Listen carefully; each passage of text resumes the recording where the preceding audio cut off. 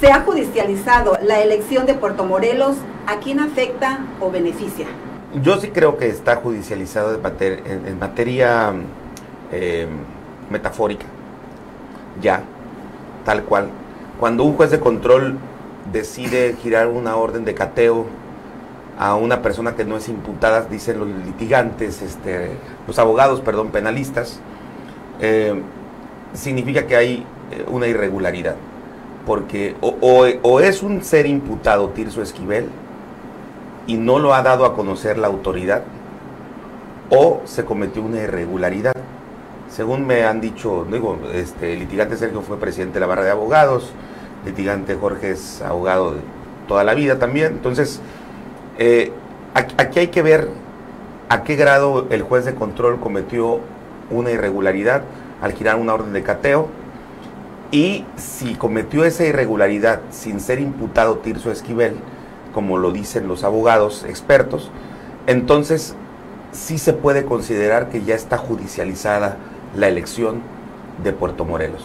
¿Por qué? Porque se está utilizando una instancia jurídica, una instancia judicial, para un asunto electoral eminentemente. Porque si Tirso Esquivel, como cualquier ciudadano, fuera un imputado que tiene realmente eh, la instancia judicial elementos para decir que él tiene una correlación con el asesinato de eh, Nacho Sánchez Cordero, entonces debería de actuar de manera diferente la autoridad. Primero que nada, obviamente, no girar una orden de cateo, sino primero que nada, hacer la imputación directa para que entonces se sigan los demás procedimientos.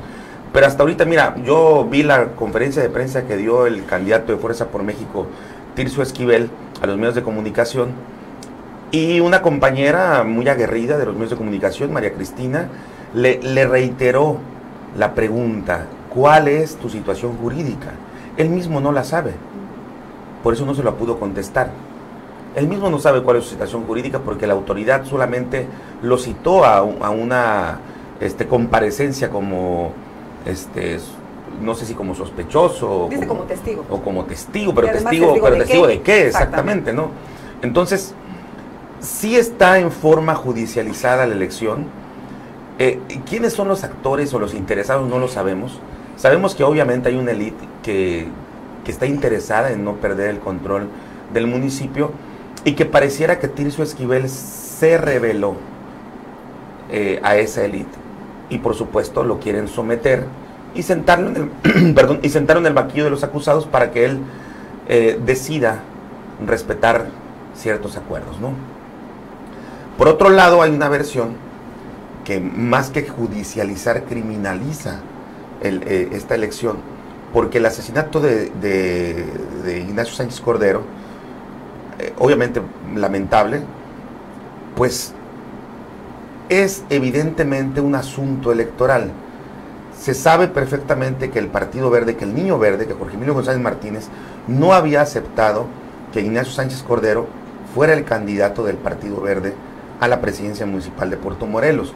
Una promesa que le había hecho la ahora candidata a diputada federal Laura Fernández Piña, exalcaldesa o alcaldesa con licencia, y que había conflictuado la situación porque Ignacio Sánchez Cordero era, una pieza clave, era eh, prácticamente, hablando de las piezas del ajedrez, prácticamente no era un alfil, sino era prácticamente el rey de, del, la, tablero, del tablero este, político. en Puerto Morelos, porque Ignacio Sánchez Cordero compartió el poder con Laura Fernández durante estos cinco años que ella gobernó bueno, casi cinco años. Eh, para, para nadie es un secreto que en Puerto Morelos lo que dijera Ignacio Sánchez Cordero se hacía. La agenda de Ignacio Sánchez Cordero la llevaba la misma persona o las mismas personas que llevaban la agenda de la presidenta municipal. Quienes sabían los movimientos de Ignacio Sánchez Cordero, como bien lo dijo Tirso en esta conferencia de prensa, eran los mismos que le llevaban la agenda a Laura Fernández Piña y los mismos le, le estructuraban la agenda a ella. Entonces, eh, estamos ante un escenario muy crítico porque se criminalizó la elección y ahora está judicializada. Yo concuerdo con eh, el litigante Jorge Rodríguez de que, y bueno, y con, con este Sergio Anguiano, porque también lo mencionó él, de que si en determinado momento eh, meten a la cárcel o, imputan que ya con eso es suficiente para, para quitarle la candidatura a Tirso Esquivel, obviamente esto va a enrarecer más aún el panorama electoral, pero por ahora, como está victimizado, pues pareciera que lo ha favorecido demasiado. Dicho, digo, encuestas que me han mostrado, que, que, no quiero decir que son oficiales porque no se puede decir este, legalmente, eh, todo indica que la alianza de, de, Morena con el Verde está casi en un empate técnico con Partido Fuerza por México, tendiendo ellos a una candidata que nadie conoce porque, porque la, la, esposa de, de, de Ignacio, creo que se llama Blanca, nunca acompañó a Nacho a ningún recorrido, a ninguna entrega de despensas. Es, decir, nadie la conoce. Nadie. Es solamente la sombra de su esposo post-mort. Y Tirso Esquivel, que sí es conocido porque fue funcionario público de Laura Fernández y que obviamente por ser uno de los que se señalan públicamente como el, copartícipe o coautor intelectual del, de, del asesinato, al convertirlo en víctima, pues obviamente lo ponen en las primeras planas de todos los medios de comunicación, digo, como se decía en el argot este, de, de, los medios, ¿no? Y, y sube su imagen. ¿no? Y, y, su imagen ha crecido mucho por dos razones circunstanciales.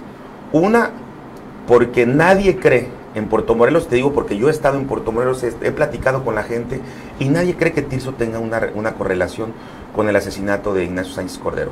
Y la otra, porque eh, le han dado a él la pauta de mostrar eh, un valor que, que, ninguna otra persona había mostrado contra el sistema o el régimen de Laura Fernández. Es decir, por ejemplo, los que lucharon por eh, recuperar esta famosa milla de oro, que es un, una parte territorial que le quitaron a Puerto Morelos y que se la dejaron a Benito Juárez, pues sí se enfrentaron de alguna manera mediáticamente a Laura Fernández, pero de manera muy mesurada, muy, muy rápida. Muy rápida y, y muy, y, y, terminaron por, de, por, por este, dejar el tema a un lado, ¿no? Tirso se, se muestra como un ente que, que, enfrenta al poder, que enfrenta al régimen, no de Laura Fernández nada más, sino del Niño Verde y de todos los que están detrás en esa ley del poder municipal, ¿no? Entonces, esa coyuntura le está dando la pauta que la gente empiece a ver a Tirso como el posible sucesor de la ahora alcaldesa con licencia. Entonces, pues muy amplio el análisis te, y ahí está el punto. Ahí te explico el, los pros y los contras del de judicializar y tal vez faltaba ponerle ahí a la pregunta criminalizar esta elección en Puerto Morelos.